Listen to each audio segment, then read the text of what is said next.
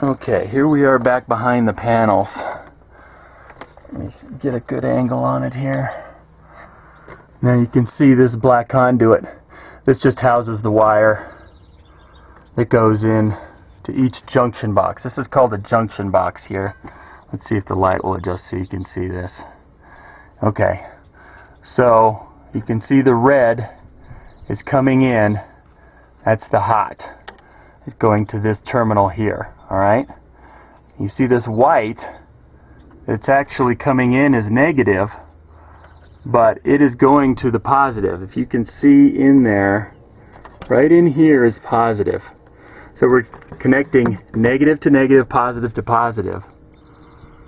I'm sorry, negative to positive, positive to negative, and that's how we're getting our series wiring. Uh, and this terminal right here, that's made specifically for series wiring. Okay, and that's why you see that there. So the positive comes in here to this terminal. The negative goes to actually what is the positive terminal here.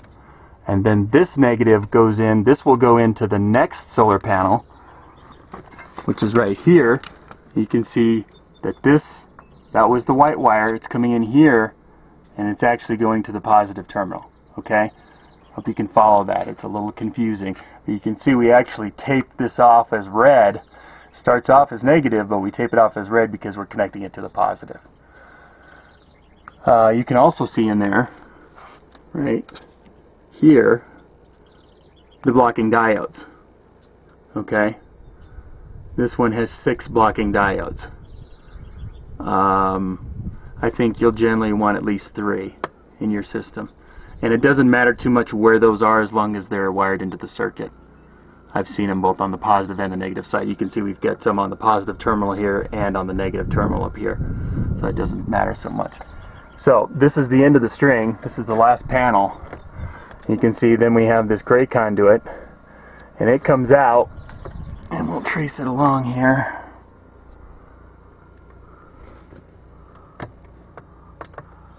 Comes out, goes down the wall here.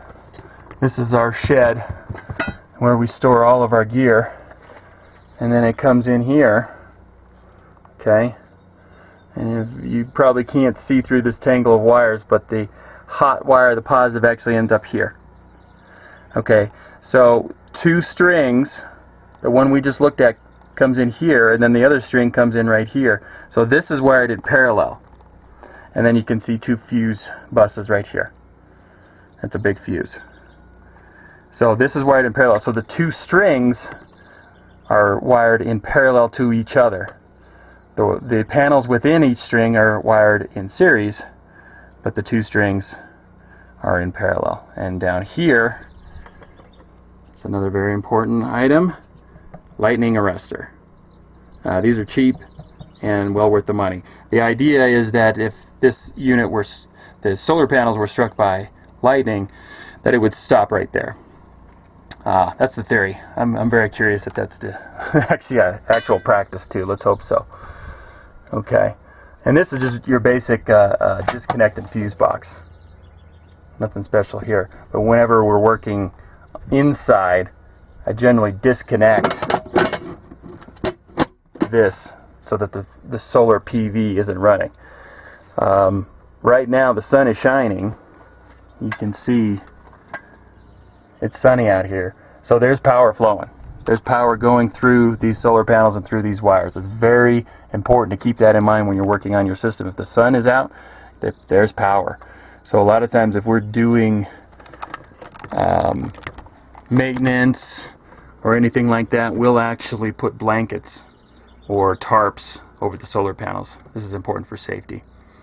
Um, next step, we'll cover the entrance of the solar power into our um, solar shed and how it wires from there.